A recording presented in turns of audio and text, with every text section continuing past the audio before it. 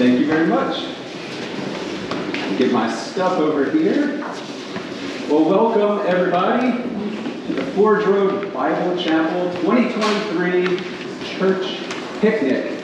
And uh, it's a great blessing to be here. This is uh, one of the years, I guess in my recent memory, where it hasn't rained and needed to be rescheduled. So it's a, it's a great blessing to be here with you all. We have a little bit of a, a challenge today because it's dark in here, and I hope that I don't put you to sleep. So try, try to try to stay awake. Um, because we're we're doing lunch together, like Nora said, we have communion at the end of the service, and we're going to be doing uh, some baptisms at two o'clock. I'm going to be a little bit more brief uh, than normal, so uh, just bear with me on that. Also, um, because we're a little scaled down today, I have my uh, what do you call these things? A tablet. So bear with me on that as well. It's it's been working good, but if I have a, a technological hiccup, please forgive me. So we're continuing our series today in The Son of Man Came Eating and Drinking. And Kyle Sobis explained in a previous message that this series serves as an exploration of Jesus' ministry and teaching centered around shared tables. Tables shared with friends and enemies, clean and unclean, sick and well, rich and poor, insiders and outcasts, oppressors and oppressed, saints and sinners. And we're particularly going to be looking at the insiders and outsiders and saints and sinners designation today. So our passage comes from Luke 7, and it's verses 36 through 50. And I invite you to pull out your phones, or if you brought your Bible, go ahead and open up that portion of Scripture. Uh, it's a very straightforward story, and it's definitely worth putting your eyes on the text. But before we go to the Word, let's go to the Lord in prayer. Lord Jesus, we have often strayed from your ways and followed too much the desires of our own hearts. We have done things that we should not have, and we have failed to do the things that we should have. Lord, have mercy on us. Open the eyes of our hearts that we may see you. Restore within us clean hearts, O Lord, and let us hear your voice today and run into your loving embrace, finding mercy and acceptance in your holy presence. In Jesus' name, amen. So before we uh, read the passage, I just wanted to point something out to you. The Luke 7 passage looks a lot like the Matthew 26 passage where Mary, uh, she pours out an alabaster jar on Jesus' head. But this, this is actually a different passage. It's, uh, it's very similar, but not the same one. That Matthew account takes place in Bethany. This one takes place in Galilee. And the one in Bethany happens during Passion Week, right before Jesus is crucified. But this is much earlier in Jesus' ministry. So just keep that in mind. Um, and I wanted to actually invite my daughter Annalise to come up and read the passage of Scripture for us today. So, Annalise, you're welcome to come up and know if any of these microphones on. Just have to flip it on here. Sorry, guys. It's all right. It's on. Okay. Then one of the Pharisees asked him to eat with him. And he went to the Pharisee's house and sat down to eat.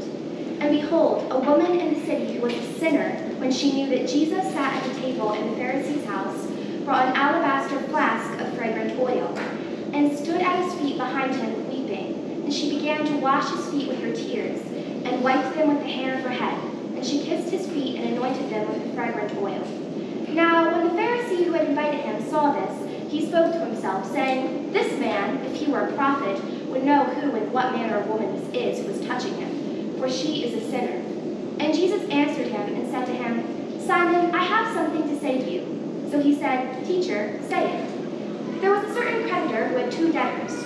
One owed 500 denarii and the other 50.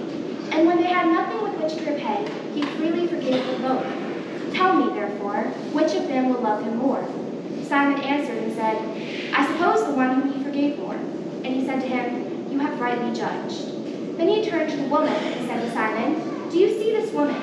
I entered your house. You gave me no water for my feet, she has washed my feet with her tears and wiped them with the hair of her head. You gave me no kiss, but this woman has not ceased to kiss my feet since the time I came in. You did not anoint my head with oil, but this woman has anointed my feet with fragrant oil. Therefore I say to you, her sins, which are many, are forgiven, for she loved much. to whom little is forgiven, the same loves little.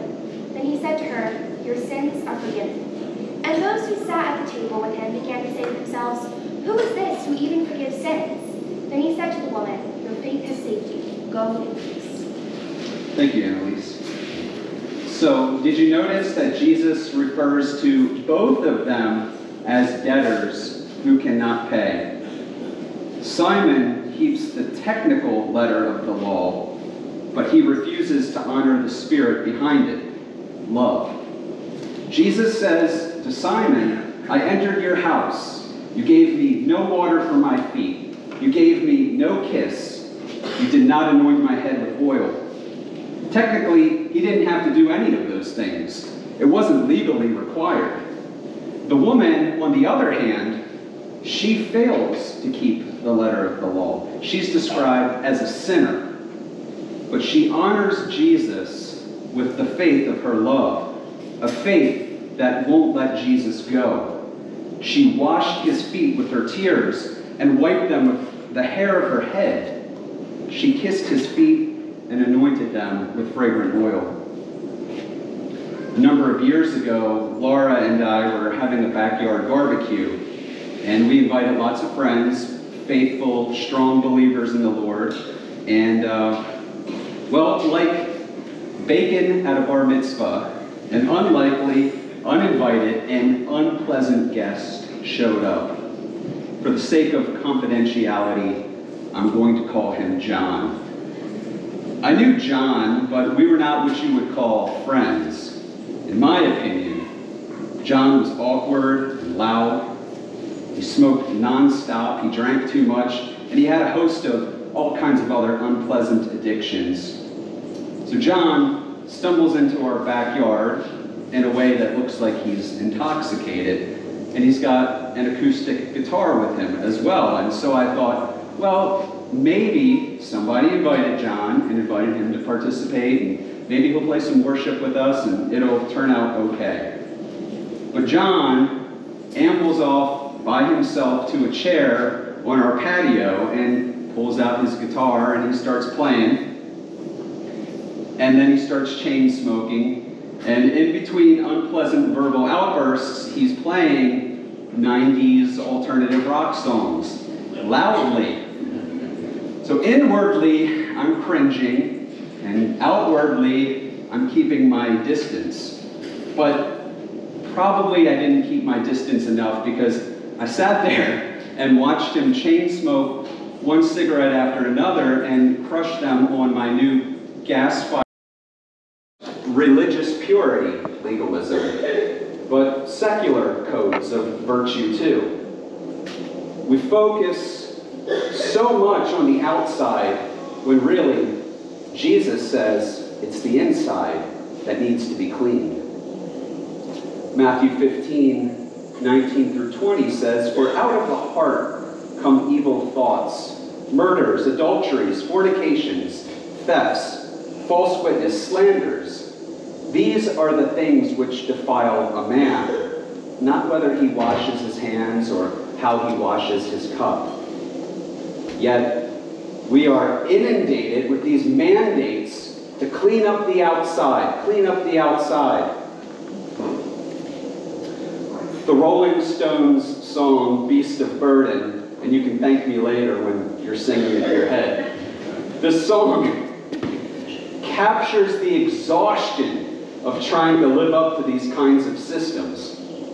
He says, Ain't I rough enough? Oh, honey, ain't I tough enough? Ain't I rich enough? In love enough? Please. Today, it's more like, Am I politically concerned enough?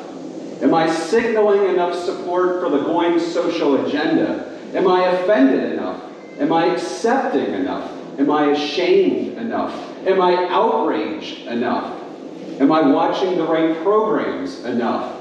Am I low emission, low carbon, eco friendly, locally sourced, and organic enough? And the list goes on and on. David Brooks, opinion writer for the New York Times, says using the current politically correct lingo is a two edged sword. On the one hand, is a sure sign that you've got cultural capital coming out of your ears. But on the other, you never know when the usage rules have changed, so that something that was sayable five years ago will now get you fired. It's impossible to find grace in systems focused on outward behavior. We cancel, we terminate, we silence, we shut down, we berate, we demand justice.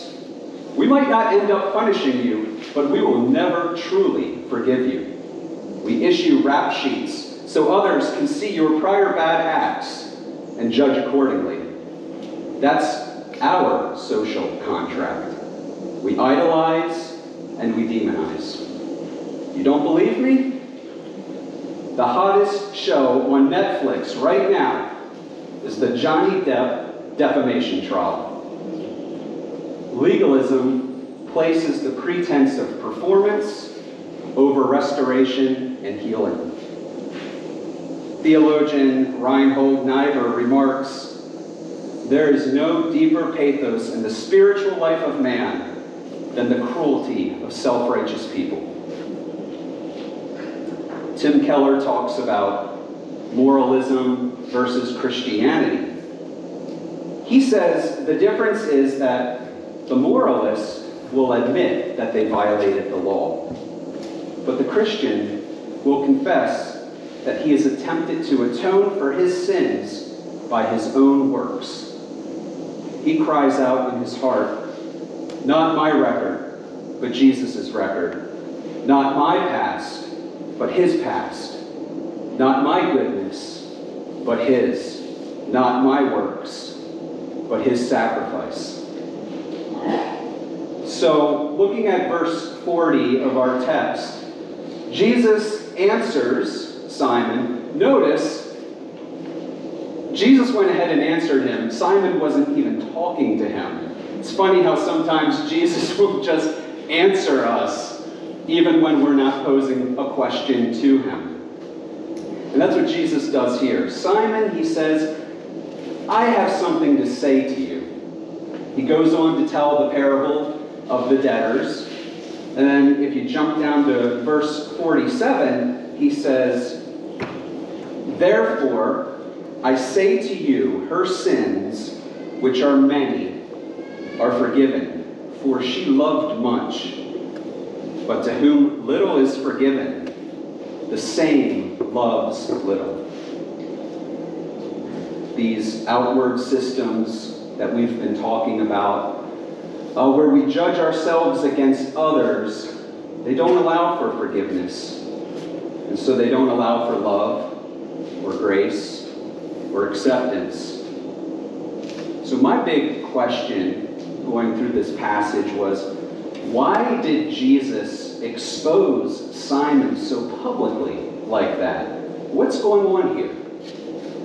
Well, my thought is we tend to look at Pharisees as the typecast, monolithic bad guy that Jesus just can't wait to rebuke.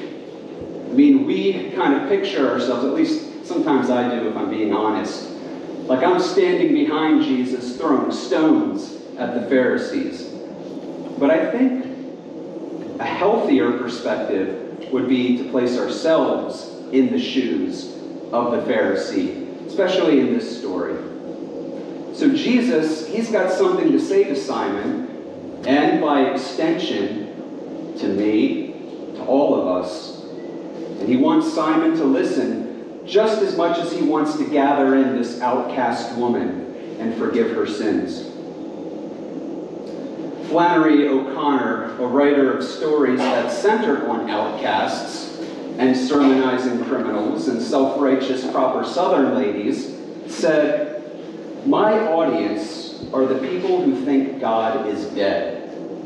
To the hard of hearing, you shout, and for the almost blind, you draw large and startling figures. Could that be what Jesus is doing for Simon? In O'Connor's short story, Revelation, I know some of the guys here have read that with me. Thanks a lot, everyone. Uh, Mrs. Turpin, a proper Southern lady, comes into a doctor's waiting room with her husband, who has been kicked by a cow.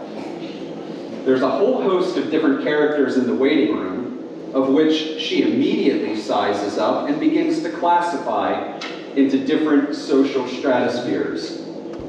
One of the characters is a well dressed, perfectly mannered middle aged woman. Her teenage daughter, however, is dour and menacing. She stares daggers at Mrs. Turpin as Mrs. Turpin and the mother exchange conversation about how you have to have certain things to know certain things. As Mrs. Turpin is busy judging the teenage girl and thanking God that she's not like the others in the waiting room, the teenage girl launches a book at Mrs. Turpin's face, knocks her clean out of the chair, and tells her to go back to the devil, where she belongs. Through a series of events, Mrs. Turpin comes to believe that God sent her this alarming message. Throughout the rest of the story, though, she struggles as she compares herself to people that she thinks are less than she is. In a final standoff with God, she shakes her fist in the air, saying, I could quit working and take it easy and be filthy. Go ahead, put that bottom rail on the top. There'll still be a top and a bottom. Who do you think you are? And God's answer returns to her like a streak of light. She sees a swinging bridge, and on it are crowds of unsavory folks rumbling toward heaven, clean for the first time in their lives, shouting and clapping. Bringing up the rear were people like herself, marching with great dignity, accountable as they had always been for good order and common sense and respectable behavior. Yet she could see by their shocked and altered faces that even their virtues were being burned away. Flannery hit her self centered character over the head with grace. And I can't help but to think that's exactly what Jesus is doing with Simon. We know what happens to the woman. Jesus tells her that her sins are forgiven and her faith has saved her. But we don't know what happens to Simon at the end of this story. Why? This lesson of Jesus and, and this desperate woman is, I believe, training us what faith actually looks like. In a merciless world where there are insiders and outsiders, living faith takes the shape of a desperate sinner who courageously falls at the mercy of Jesus. So, what happens? Does Simon become a believer? Does he surrender his own righteousness and accept saving faith? Does he choose to see that even though his debt may seem less than this woman's, he, just like her, has no true ability to pay for it? I think Jesus gives Simon, and again by extension, each of us, this wonderful open ended invitation to surrender our moralism, our self righteousness, our self justification, and to accept His work and His forgiveness for all of our sins by His grace. Remember my uninvited guest, John, who showed up at my backyard barbecue? Matthew 25 40 says, Assuredly, I say to you, inasmuch as you did it to one of the least of these, my brethren, you did it to me. What I later realized was that Jesus came to my house for dinner, and he invited John. I gave him no water for his feet. I gave him no kiss. I did not anoint his head with oil. I failed to see the depth of my need at the foot of the cross, and I failed to extend the same mercy I myself had received. So here we are, seated at these tables, and we've invited Jesus to come and share a meal with us. How are we going to approach him? As the woman who genuinely sees her need for Jesus, willing to approach the throne of grace boldly, to be accepted, or will we sit quietly with folded arms and closed hearts in judgment of those coming just as they are? In Kyle's message, he, he said something very profound and, and uh, it's, it's worth remembering. He said, It's no accident that this ministry happens over a shared meal. Continuing in an unbroken line to the present day at churches and in homes throughout time and space, at the shared table, whether the Lord's Supper or any meal where Jesus is invited, the ordinary is joined by the holy. The typical is joined by the transformational. The creation meets the resurrection. And the reality of the kingdom of God breaks through into our everyday existence. Theologian Emil Brunner says the solemn meal implies that the everyday world is wrought into the texture of saving history. And that saving history is implanted in the thick of everyday life. By sharing in this meal, we participate in the thing which actually is no thing at all. It's Him, Jesus Christ. We're not simply observing some tradition, we are in communion with our Savior, the head of the body, and with each other, the members of that same body. Inwardly, by sharing this meal together, we are asking Christ that we would be of the same mind, maintaining the same love, united in spirit, intent on one purpose, doing nothing from selfishness or empty conceit, but with humility of mind, regarding one another as more important than ourselves, not merely looking out for our own personal interests, but also the interests of others.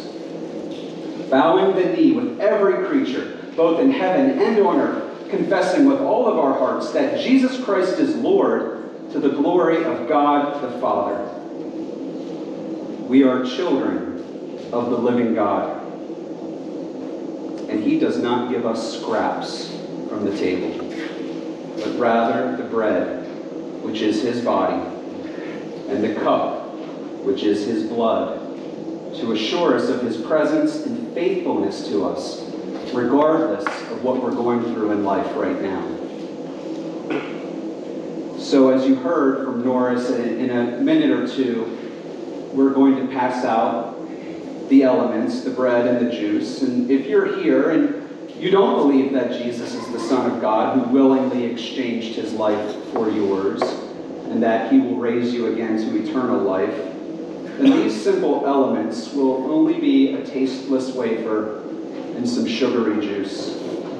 On their own, they have no inherent power to change or cleanse you. Only receiving Jesus as your Savior can do that. Jesus is calling you today. Don't harden your heart. Answer him and accept him. Fall at his feet and hear his words to you. Your sins are forgiven. Your faith has saved you. If you do believe on Jesus as your Savior, but the inner Simon has hardened your heart, where you have been on this cycle of legalism and the failure that always attends it, Jesus is inviting you and me to repent, to break free from the yoke of that bondage and fear as ones who have received the spirit of adoption by whom we cry out, Abba, Father. So at this time, I would ask that our communion guys pass out the elements.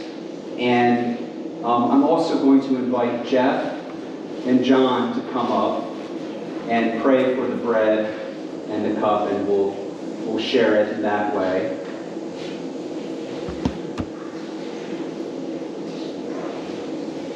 And then after communion, uh, we'll, we'll pray, and then we'll close out the meeting, and then we'll, we'll have lunch together, and then make sure that you go up to the baptism at 2 o'clock.